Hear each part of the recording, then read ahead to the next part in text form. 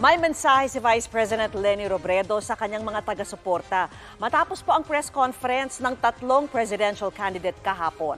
Huwag daw magpatalo sa emosyon at mag-focus na lamang sa kampanya. Yan po ang sani puwersang tinutukan ni Nadano Tingkungko at Andrew Bernardo ng GMA Regional TV, Balitang Southern Tagalog.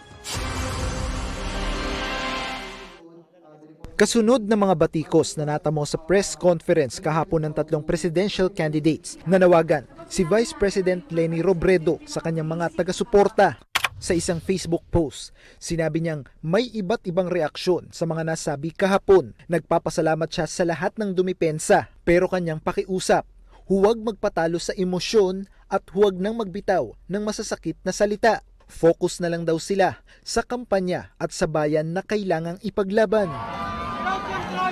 Nasa Infanta Quezon kanina si Robredo sa pagpapatuloy ng kanyang kampanya. Nananawagan ng ilang grupo ng kababaihan, kabataan at katutubo na huwag matuloy ang planong pagtatayo ng Kaliwa Dam.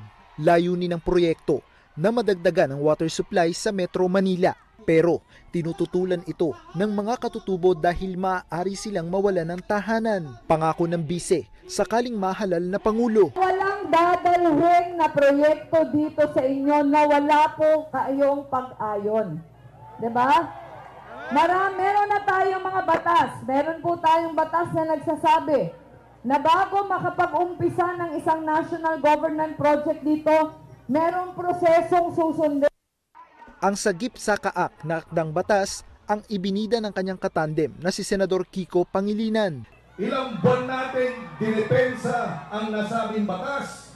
Isang daang bilyong pisong halaga ng Coco Levy Trust Fund ay maaari nang magamit ng ating magnunyog para bumanda ang kita, para hindi lamang kopra ang kanilang produkto, Nagpaalala rin ang magkatandem na huwag maniwala sa fake news, bagkus, alamin ang katotohanan. Sinubukan ng media na kuhanan ng pahayag si Robredo hinggil sa bagong patutsada ng mga katunggali. Pero hindi na ito nagpaunlak ng panayam. Lumipad ito patungong Pulilio Island para magsagawa ng meeting kasama ang iba't ibang sectoral group at supporters sa Islang Bayan. Sunod namang nagtungo si Robredo at Pangilinan sa Marinduque kung saan nag-courtesy call sila kay Governor at League of Provinces of the Philippines President Presbitero Velasco Jr. Bumisita rin si Robredo sa Diocese of Boac bago tumungo sa People's Rally doon.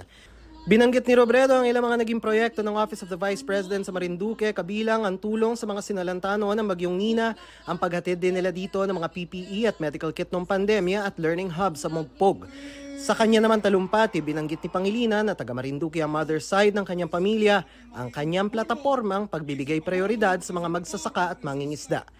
Andrew Bernardo, Dano Tingkong, nakatutok 24 oras.